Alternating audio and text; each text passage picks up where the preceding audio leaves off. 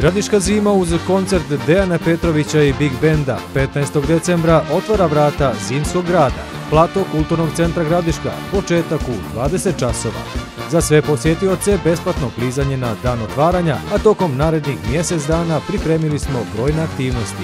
Očekujemo vas. Dobrodošli!